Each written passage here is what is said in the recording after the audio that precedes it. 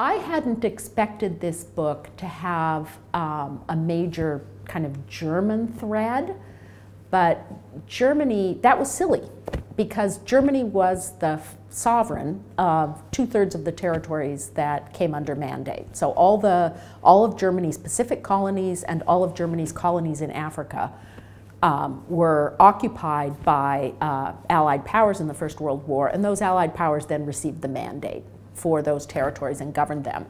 And the Germans um, at the peace conference had asked for those territories back. They said they'd be perfectly willing to govern them under ideas of trusteeship and the sacred trust, but they wanted them back. And obviously, the Allied powers weren't willing to give them back, and instead they promised that they would be governed according to these international rules. That was in answer to anti colonial sentiment and also in answer to um, Wilson's pressure on the Allies.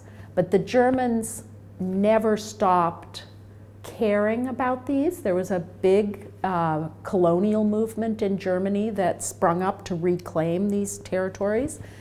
And um, they also, once they entered the League in 1926, put a great deal of effort into trying to shape the way the mandate system worked. So Germany very unexpectedly became the main power pushing um, to limit the claim to sovereignty by the Allied powers in the territories. They were the force behind international control, internationalizing, they, uh, internationalizing the um, uh, economy in particular. They pushed for economic access to all these territories.